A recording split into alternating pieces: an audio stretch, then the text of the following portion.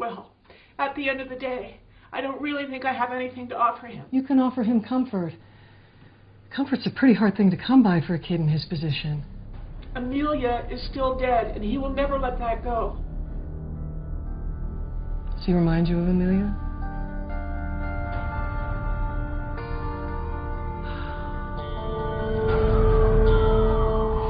what it's like to sit at home and wait for someone who you know is never, ever gonna come back.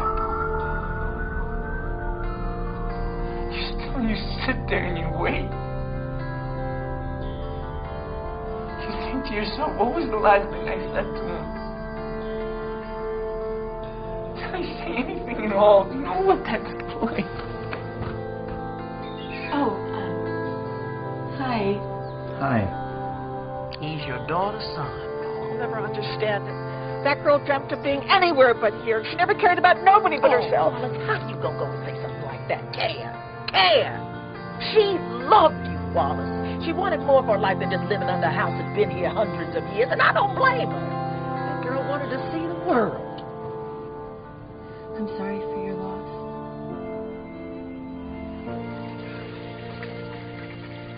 Could you please just leave? I'm only your problem until next summer, so you won't have to worry about it anymore. Well, until then, I'm gonna get some respect from you. I don't have to listen to this. You're not my mother. Stop it. Just stop. Let you walk all over me these past months because it never occurred to me that you could be so deceptive, so manipulative. You can't stay here. This just isn't gonna work. Pack your things and leave. You're in God's hands now. When he's ready, I'll be here waiting. I'm already figured out. Who are you trying to fool? Look around. There's no one here for you to be tough in front of. If you're in pain, be in pain. I am in pain. I am angry.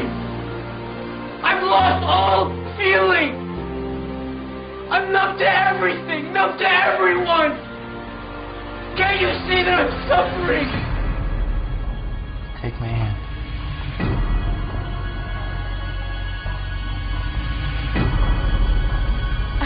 I feel like this is where I need to be.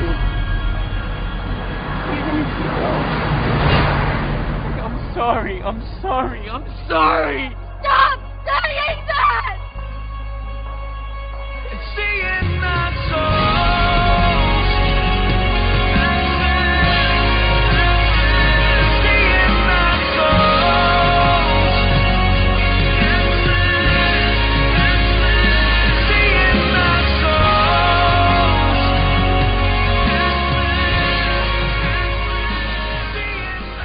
I lived in that hospital bed for days, doing the same thing over and over again.